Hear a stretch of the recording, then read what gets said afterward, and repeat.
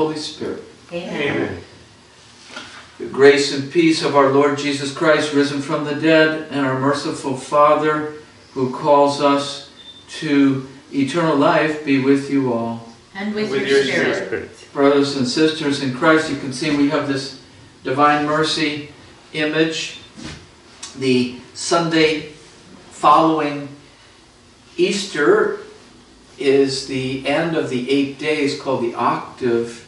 Those of you who know music a little bit know that there's such, such a thing as an octave, and the last day it repeats the first day.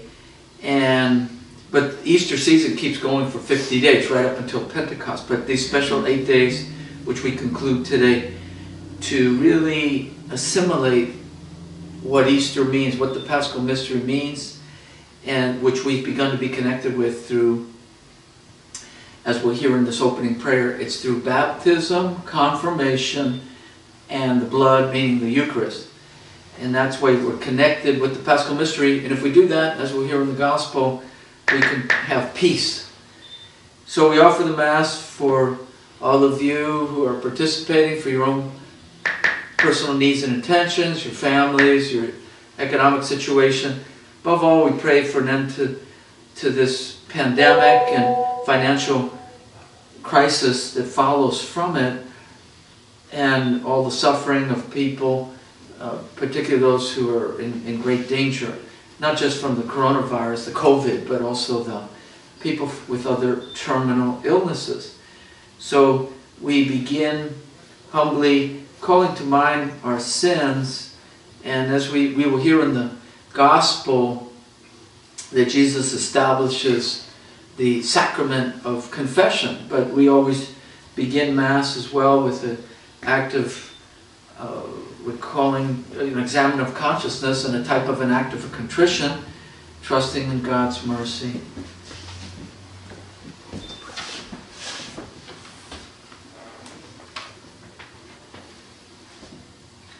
Lord Jesus, you raised us to new life.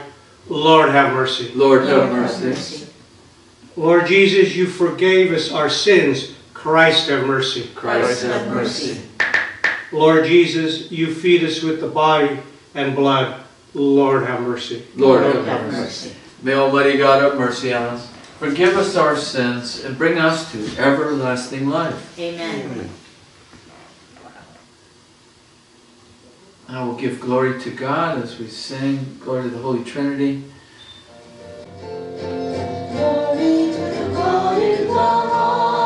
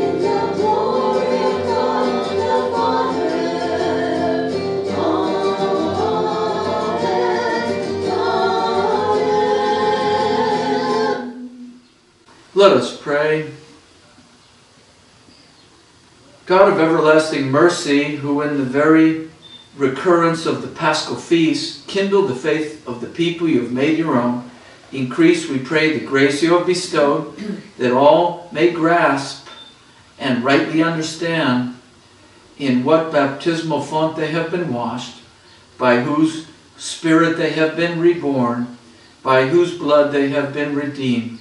Through our Lord Jesus Christ, your Son, who lives and reigns with you in the unity of the Holy Spirit, one God, forever and ever. Amen. Let's be seated to listen attentively to the Word of God.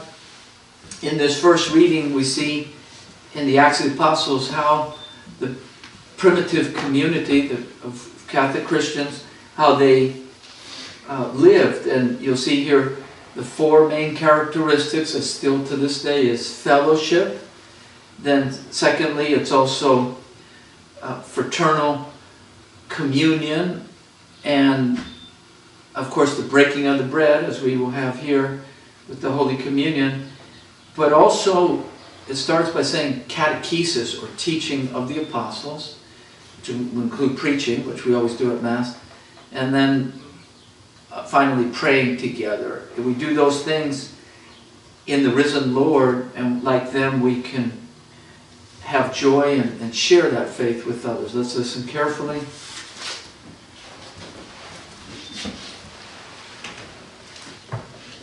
A reading from the Acts of the Apostles. They devoted themselves to the teaching of the apostles and to the communal life, to the breaking of the bread and to the prayers. Awe came upon everyone, and many wonders and signs were done through the apostles. All who believed were together and had all things in common. They would sell their property and possessions and divide them among all according to each one's needs. Every day, they devoted themselves to meeting together in the temple area and to breaking bread in their homes. They ate their meals with exultation and sincerity of heart, praising God and enjoying favor with all the people. And every day the Lord added to their number those who were being saved. The word of the Lord. Thanks be to God. Our responsorial. Give thanks to the Lord, for he is good. His love is everlasting. Give thanks to the Lord, for he is good. His love is everlasting. Let the house of Israel say, His mercy endures forever. Let the house of Aaron say, His mercy endures forever. Let those who fear the Lord say, His mercy endures forever. Give thanks to the Lord, for He is good.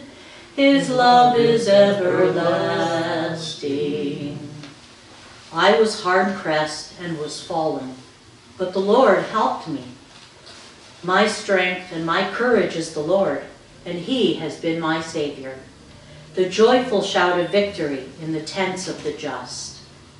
Give thanks to the Lord, for He is good.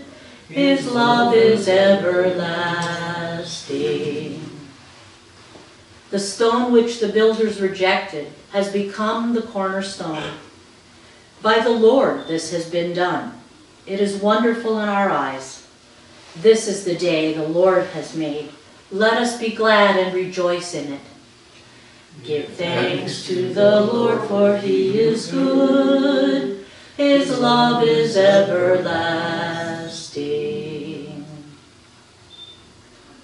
And now in the second reading from our first Pope, St. Peter, and he speaks of how through baptism we're born again and have a new birth, regenerated, and that's through the resurrection of Christ that we're connected with by the baptism. So then we can look forward, if we live our faith, and faith is, is like gold that needs to be purified, we can then attain the inheritance in heaven. A reading from the first letter of St. Peter. Blessed be the God and Father of our Lord Jesus Christ, who in his great mercy gave us a new birth to a living hope through the resurrection of Jesus Christ from the dead, to the, an inheritance that is imperishable, undefiled, and unfading, kept in heaven for you, who by the power of God are safeguarded through faith to a salvation that is ready to be revealed in the final time. In this you rejoice, although now, for a little while, you may have to suffer through various trials, so that the genuineness of your faith, more precious than gold that is perishable, even though tested by fire, may prove to be for praise, glory, and honor at the revelation of Jesus Christ. Although you have not seen him, you love him. Even though you do not now see him, now yet believe in him. You rejoice with an indescribable and glorious joy as you attain the goal of your faith, the salvation of your souls. The word of the Lord. Thanks be to God.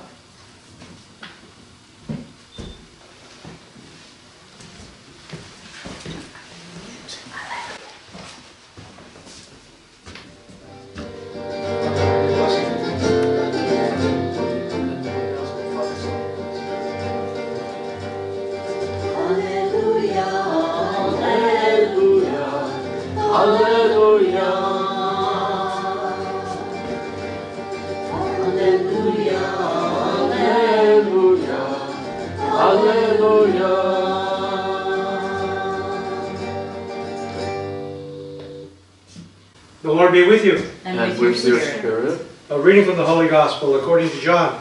glory to you, Lord. On the evening of the first day of the week, when the doors were locked where the disciples were for fear of the Jews, Jesus came and stood in their midst, and he said to them, Peace be with you. When he had said this, he showed them his hands and his side. The disciples rejoiced when they saw the Lord. Jesus said to them again, Peace be with you. As the Father has sent me, so I send you. And when he had said this, he breathed on them and said to them, Receive the Holy Spirit. Whose sins you forgive are forgiven them, and whose sins you retain are retained. Thomas, called Didymus, one of the twelve, was not with them when Jesus came. So the other disciples said to him, We have seen the Lord. But he said to them, Unless I see the mark of the nails in his hands, and put my finger into the nail marks, and put my hand into his side, I will not believe. Now a week later his disciples were again inside, and Thomas was with them. Jesus came, although the doors were locked, and stood in their midst and said, Peace be with you. Then he said to Thomas, Put your finger here and see my hands, and bring your hand and put it into my side, and do not be unbelieving, but believe. Thomas answered and said to him, My Lord and my God. Jesus said to him, Have you come to believe because you have seen me? Blessed are those who have not seen and have believed. Now Jesus did many other signs in the presence of his disciples that are not written in this book. But these are written that you may come to believe that Jesus is the Christ, the Son of God, and that through this belief you may have life in his name. The Gospel of the Lord. Praise to you, Lord Jesus Christ.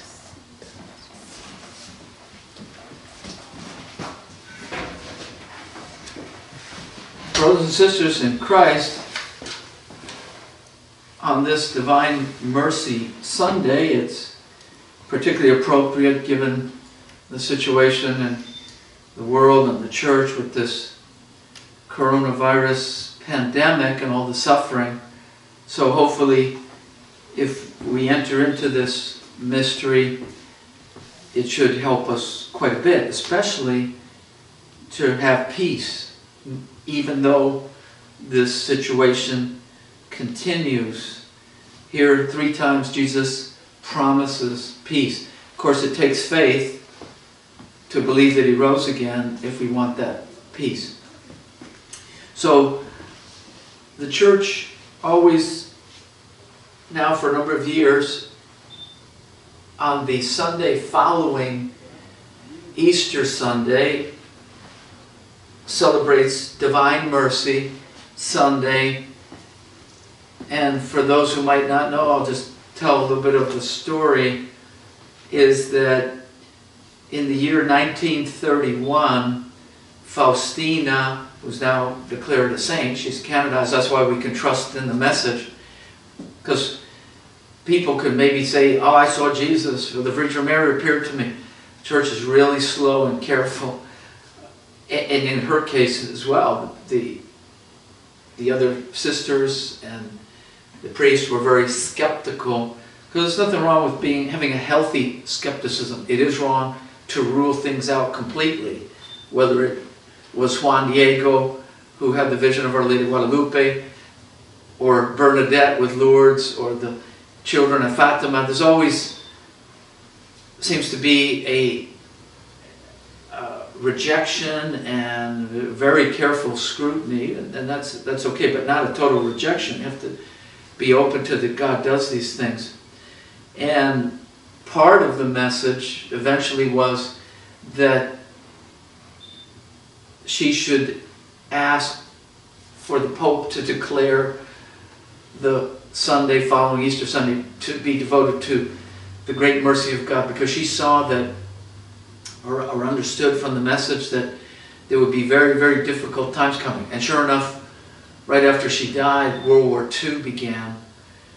And then after that, a whole other series of things. Auschwitz, killing of six million Jews and about a million Christians. The uh, other great suffering from uh, other wars, Korean War, Vietnam War, Iraq War, uh, the great sufferings as well uh, through communism. So she, she was on behalf of God saying, despite all the suffering, have faith in my mercy. And that's a big part of this gospel, is to have faith and not let doubts uh, dominate that or, or taint that faith. It's a gift. Faith is a gift, but it also is a human act. It's both. We have to take care of what we've received. So she, in the visions, was told to have a painter paint to describe uh, to that painter, and this is the image we have. Of course, we know symbolic. It's, it's similar to Sacred Heart. Even from way back, Sacred Heart, we could say, well, in Spanish it's Jesus en vos confío. Sacred Heart, Jesus, I trust in you. But from the Sacred Heart, or, or you could say from where the soldier's lance went in, came out water, which John chapter 7 says is symbolic of the Holy Spirit. And so it, it symbolizes baptism. So baptism and confirmation. And the red ray symbolizes the blood of Christ, which is the Holy Eucharist. Those are the three sacraments to be initiated as a Catholic Christian into the body of Christ. And part of the message, to make it easy, was that the, the ABC, if, if we want that divine mercy, you have to A, ask for it. And the special way to ask for it, one is the easiest, is just to repeat, Jesus, I trust in you. Which a lot of time as priests, we advise people who are really depressed or uh, losing their faith, for example. But a, a very effective way is the novena that as well as, well in Spanish they say coronilla, the chaplet, the Divine Mercy chaplet. So when you do the novena, which I suppose is on internet, it's usually, we, there are a lot of these little red pamphlets that have the novena. You, you say the prayer that corresponds for the, each day, and you do the chaplet. I've grown very much of my devotion in the Divine Mercy. Uh, it started kind of strong when I was in Tijuana, Mexico, and we had many very terrible situations, such as, let's say, kidnappings. Whenever we had a kidnapping, I would always hand out that Divine Mercy novena. And for all the times that it happened, I remember every single one of them, the, the people kidnapped were were released. Sometimes they were missing a thumb or an ear or nose or something, but they were always at least alive when they were released. But I've been saying the novena on a rotating basis now for, well, since the beginning of the year. When I have my holy hour and I say the rosary, I always follow that with the Divine Mercy Chaplet. Very powerful. Now, St. Faustina herself died fairly young, age 33, but many saints died at that special age. That's the age that our Lord died. And, well, for example, St. Catherine of Siena died at age 33. She died of tuberculosis. St. Therese, the little flower, she also died of tuberculosis. And like St. Therese, Faustina offered all that sickness and sacrifice. She didn't let that go to waste. She joined it to Jesus on the cross. So, as we enter into this uh, Divine Mercy Sunday, we remember the second condition. The first one is to ask for the mercy. The second one is be merciful. Nobody can have the mercy of God if they're not also merciful. That's that'd be total hypocrisy. Jesus, be merciful with me. I'm not going to be merciful with these other people, but yes, be merciful. No, it don't work that way. We want Him to be merciful, He makes that a condition. We have to be merciful to others. And the special way to be merciful are the seven corporal acts of mercy that are in Matthew chapter 25. Feed the hungry, give drink to the thirsty, visit those in prison, uh, console the sick, uh, give clothes to the naked, and shelter to those who are homeless. The last one is not in there, but that's the simple one of uh, burying the dead. But the, the, there's the other seven, the spiritual works of mercy that are really important. One of them is to instruct those who are ignorant of the truth. Uh, that, that means with humility, but it's a favor to tell people, no, abortion is wrong for this, this, and this reason. Uh, then we also, with the act of mercy, forgive others. Another one is to be patient with the defects of others. Uh, another one is to, uh, it, to help those who are doubtful, who have doubts like Thomas did. Of course, all the apostles had doubts, but in a special way, Thomas showed it here. To do fraternal correction of sinners. Sometimes people, when they confess with the priest, they say, Father, I need to confess. I, I corrected my son. He's alcoholic, and so I corrected him. And we have to say, that's not a sin. It would have been a sin if you have omission of not correcting somebody. How you do it is important to do it humbly and right and not judging the person on their inside. Of course, we have to correct others. It's an act of mercy. But the other is to pray for the living and the dead. So if we do those things, in other ways, spontaneously show mercy, we can trust God with mercy for with us. So ask for mercy, be merciful, and see, have, have confidence. So that was the problem here of of Thomas, he let those doubts get to him. And so the church teaches, if you look at the catechism, there's, there's two types of doubt. One are doubts that are our fault because we got lazy, we don't go to church. That's really what the problem was of Thomas. He, did, he wasn't with the community when Jesus appeared. And so that's why his doubts began. Fortunately, he at least came that following Sunday, as we just heard in the gospel. But that's very dangerous to separate ourselves from the community, the church. Or it could be somebody's lazy, sloth, they don't read the Bible, don't pray.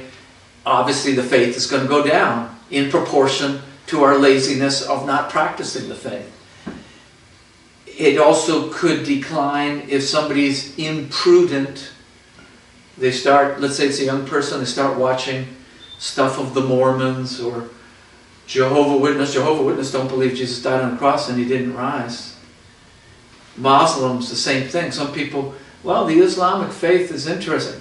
They, they claim that Jesus uh, didn't die on the cross, that in the Quran it says it was substituted for another person, so Jesus, the real Jesus was hiding. And so then when he came out, people thought he rose, but it was just that he had hid during the time that this other guy who looked like him was crucified. So, but if people are imprudent and they don't, they're not strong in their faith and they start dabbling in other religions, very bad idea. Uh, so, but other doubts are not sinful because sometimes people, particularly when we have ret- confirmation retreats, kids sometimes confess, uh, Father, I have doubts, so I want to confess that sin. We have to say, wait, well, it depends. If, if a young person says, I don't understand how that bread and wine really becomes the body and blood of Christ, and so I, I want to confess that doubt, we, could, we have to say to them, well, you need to be humble, and your starting point, like a child, is, I don't know how that gets changed into the body and blood of Christ, because I know it still looks like bread and wine after, but I accept on the authority of God and the Bible and the church, I accept it. I don't understand how it happens, but there's the famous saying, I believe and then I can understand. It's not the other way. I will understand first in my great brain and then I will believe. No, first comes being humble and I trust and I believe and then you'll see how it makes sense. And that goes for really all the mysteries of the church. We, there's nothing wrong with asking questions and using our reason and our brain. It would be, it is wrong to let those doubts grow and to then not seek to uh, raise the question so that uh, the Lord can show us the light of what, why those uh, make sense. But the Lord, for example, Mother Teresa of Calcutta, after she died, they found her diary and she admits in that, she says, uh, I, were, I was assailed with doubt. She didn't give in to the doubts. So, one of the great saints, I remember, Alphonsus of Liguori, said he was attacked with doubts against every single article in the creed, every single one of them. He didn't give in to them. He kept saying, I believe, and he, he rejected those doubts. Or somebody could have doubts about their vocation, their, that God called them to a marriage with such and such a spouse and they're married in the church. So those doubts can come from the evil one as well. And he, God permits that sometimes because if we get through the doubts, oftentimes our faith is actually stronger. So, brothers and sisters, as we continue to enter into the Paschal mystery, where we want these gifts that God and, and our Lord Jesus Christ promises us in, in this gospel. The first gift is peace. Three times he says, Peace I give you. Uh, but it does take faith that he has risen. And then he gives the gift of the Holy Spirit to, to the apostles. They were in the upper room, same place where the Last Supper, but the same place that later there was the Pentecost for others. But this was kind of an anticipation of Pentecost, and, and not publicly. It was just the uh, apostles, apparently with a couple of disciples too. But so it's the gift of peace, the gift of the Holy Spirit, and then the gift of forgiveness of sins. That's why we. This is one Bible site that we use to justify why we say in the Catholic Christian Church, Christ established as one of the seven sacraments the beautiful sacrament of forgiveness in uh, confession. And so, you know, always we say, because I've spoken with many non believers or, or, Protestants, we say, only God forgives. We believe that. But the priest in confession is an instrument of God, like a pen.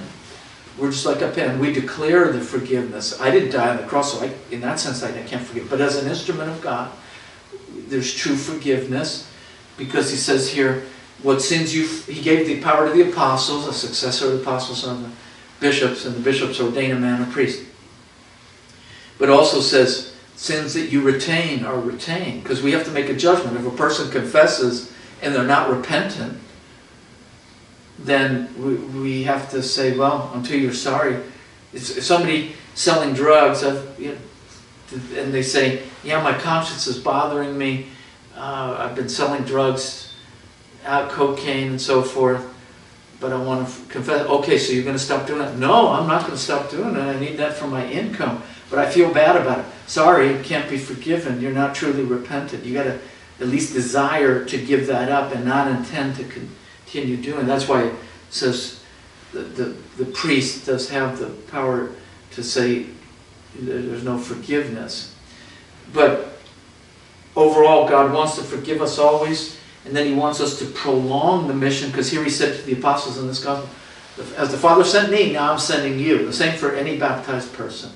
That we're all sent on mission to be instruments of peace and reconciliation and share the faith, the good news that our Lord Jesus Christ has risen and that He's present, especially present, body, blood, soul, and divinity, truly risen, really and truly in the Holy Eucharist. That's why, especially in Spanish, it's a tradition when we lift up the host for consecration, the people spontaneously say these same words of Thomas, my Lord and my God. And after the consecration my Lord and my God, Dios mío, Señor mío y Dios mío. By the way, just to finish, I've dialogued or tried to dialogue with Jehovah Witnesses. They don't believe Jesus is God. And one time I remember when I was, they were citing the Bible, I was saying, well, the Bible comes from the Catholic Church, etc. And then uh, one clear sight among many, there are many in, the, especially the Gospel of John, this one where Thomas says to Jesus, Lord, my Lord and my God, to Jesus. But when I, they had their Bible there, uh, sure enough, that part is not there. The, the founder of the Jehovah Witness, who was a nice American guy, um, Charles Russell, very nice, very wrong, but very nice, apparently. But he, he took, they, they took that out, uh, as well as other inconvenient phrases. But this is a clear one, where the divinity of Christ, he's truly human, but also truly God. So let's uh, now stand as we renew our faith. Since this is the end of the octave, it's an occasion to renew our baptism. So I ask you to respond after me. Do you renounce Satan? I do. I do. Do you renounce the devil and his temptations and seductions? I do. Do you renounce sin so that you can live in the freedom of the sons and daughters of God? I do. Now we do the positive part. Do you believe in God the Father Almighty, creator of heaven and earth? I do. Do you believe in Jesus Christ, His only Son, our Lord, who was conceived by the Holy Spirit, born of the Virgin Mary, suffered under Pontius Pilate, was crucified, died, and was buried?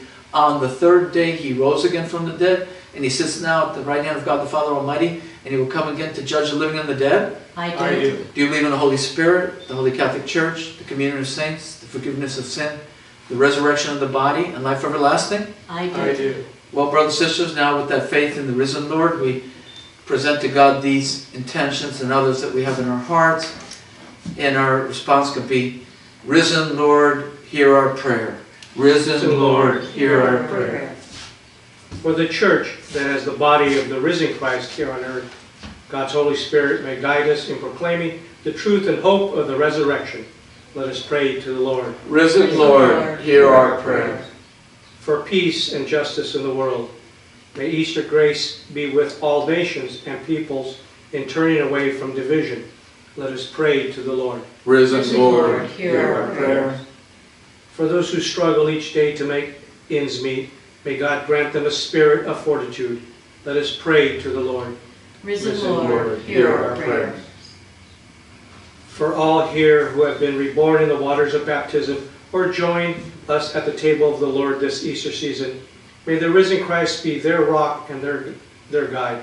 Let us pray to the Lord. Risen Risen Lord, hear our prayers. For any other intentions, particularly those of you who are listening for your own family needs and for all of our deceased loved ones, and for us with them to this pandemic, and that God bring good out of this evil, especially conversions.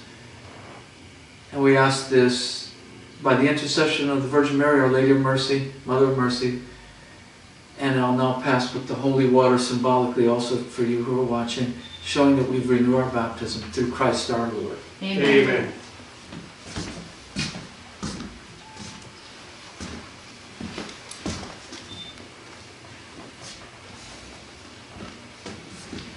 Let's be seated for the offertory gifts.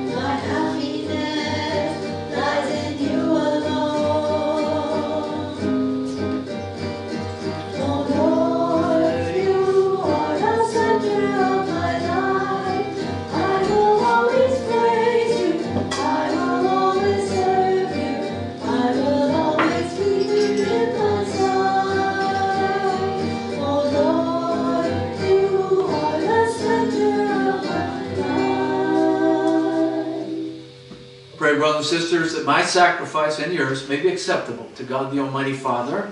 May May the Lord accept the sacrifice at your hands for the praise and glory of his name, for our good and the good of all his holy church. Accept, O Lord, we pray, the oblations of your people, that renewed by confession of your name and by baptism, they may attain unending happiness through Christ our Lord. Amen. Amen. The Lord be with you. And And with your spirit, Lift up your hearts. we lift them up to the Lord. Let us give thanks to the Lord our God. It is right and just. It is truly right and just, our duty and our salvation, at all times to acclaim you, O Lord, but above all, in this time of Easter, to laud you yet more gloriously when Christ, our Passover, has been sacrificed. For Christ Jesus is the true Lamb who has taken away the sins of the world. By dying, he destroyed our death, and by rising, restored our life. Therefore, with paschal joy, every people exult in your praise, and we join with the angelic host as we sing the hymn of your glory. Holy, holy, holy, Lord, God of hosts, heaven and earth are full of your glory. Hosanna in the highest. Blessed is he who comes in the name of the Lord. Hosanna in the highest. We'll use the prayer for reconciliation.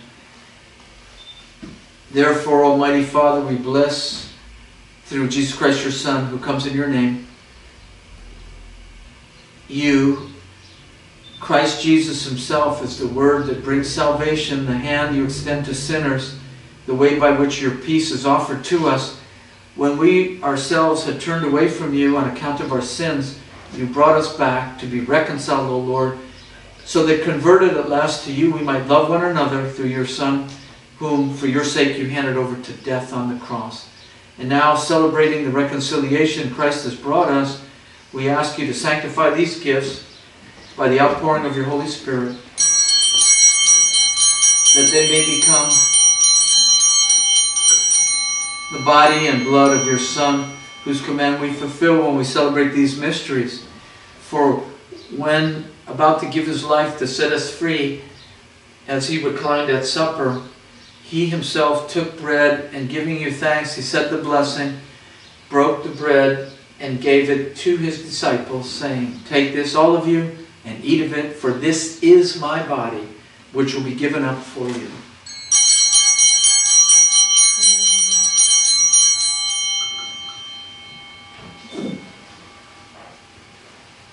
In a similar way, on that same evening, he took the chalice of blessing in his hands, confessing your mercy, and gave the chalice to his disciples, saying, Take this, all of you, and drink from it, for this is the chalice of my blood, the blood of the new and eternal covenant, which will be poured out for you and for many for the forgiveness of sins. Do this in memory of me.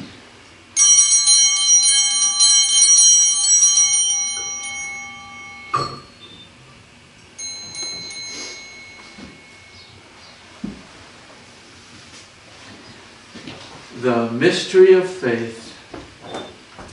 Save us, Savior of the world, for by your cross and resurrection you have set us free. Celebrating, therefore, the memorial of the death and resurrection of your Son, who left us this pledge of his love in the Eucharist, we offer you what you have bestowed on us, the sacrifice of perfect reconciliation. Holy Father, we humbly ask that you accept us also together with your Son, and in this saving banquet, graciously endow us with his Holy Spirit, who takes away everything that divides us from one another. May he make your church a sign of unity and instrument of peace among all people, and keep us in communion with Francis our Pope, Jose our Bishop, and your entire people. And just as you have gathered us now at the table of your Son, so also bring us together with the glorious Virgin Mary, Mother of God, with Saint Joseph and the blessed apostles, and all the saints, and all those brothers and sisters who have died in your friendship to share with them the unending banquet of unity in a new heaven and new earth where the fullness of your peace will shine forth in Christ Jesus our Lord. Through him and with him and in him, O God, Almighty Father, in the unity of the Holy Spirit, all glory and honor is yours forever and ever.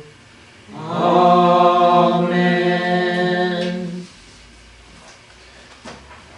At the Savior's command, and formed by divine teaching, we dare to say, Our Father, Who art in heaven, hallowed be thy name.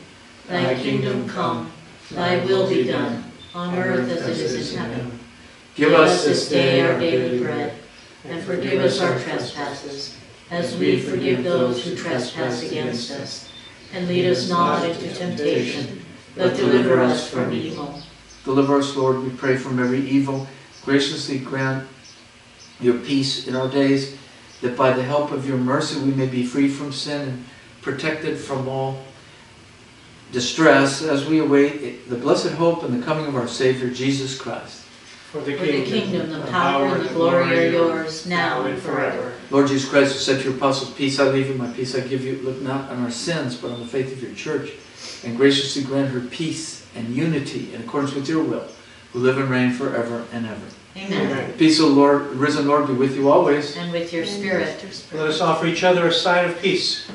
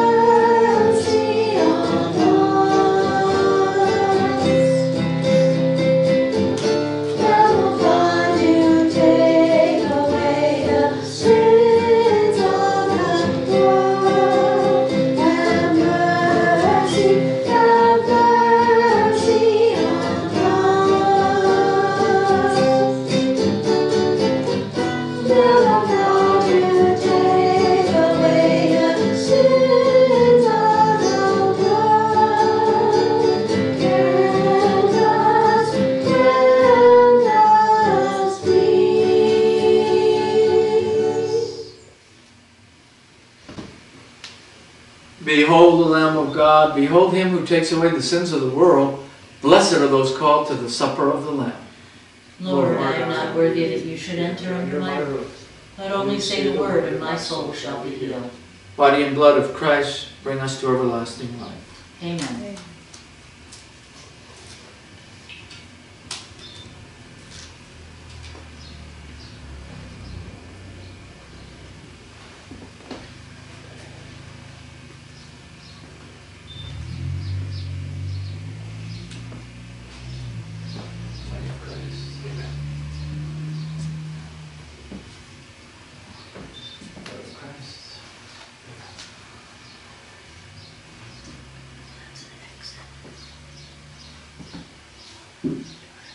Brothers and sisters who are watching, we invite you to join with us in spiritual communion. There's no special prayer, it can be your own words, but this is a formula. You could repeat, My Jesus, present in the most holy sacrament, I believe that you are here, body, blood, soul, and divinity. I love you above all things. I desire to receive you into my soul. But since I cannot at this moment receive you sacramentally, come at least spiritually into my heart. Never permit me to be separated from you. Amen.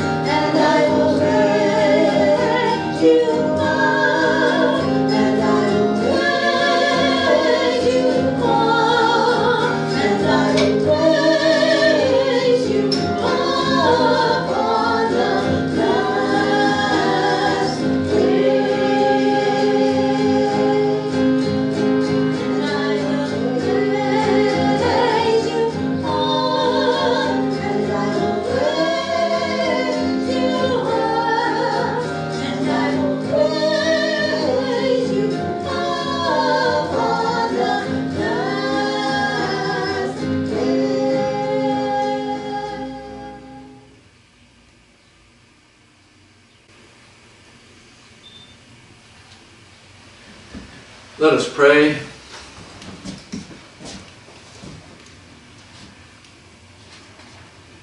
Grant, we pray, Almighty God, that our reception of this Easter sacrament may have a continuing effect in our minds and hearts and bring us to eternal life through Christ our Lord. That little hymn there it, it shows the connection between believing in the risen Lord and believing in Jesus' truly present body, blood, soul, and divinity. If somebody starts to have doubts about that Jesus rose, normally they have big doubts about Jesus present in the Eucharist and, and vice versa. So we always need to resist those temptations to, to doubt. And so we have a, the special prayer to finish the octave. And so we invite you to respond amen, meaning so be it, uh, after each invocation. The Lord be with you. And with With your your spirit. The Almighty God, who by the resurrection of His only begotten Son was pleased to give you the gift of redemption and children of adoption, give you gladness by His blessing. Amen. May Christ Jesus, by His redeeming work, having given you the gift of everlasting freedom, make you an heir to eternal inheritance. Amen. And may the Holy Spirit, who you received in baptism through faith, give you the grace to live in a right manner on this earth and be united with Almighty God in the homeland of heaven. And the blessing of Almighty God, the Father, the Son, and the Holy Spirit come down upon you and remain with you forever. Amen. Go in peace. Alleluia. Alleluia. Thanks be to God. Alleluia. Alleluia.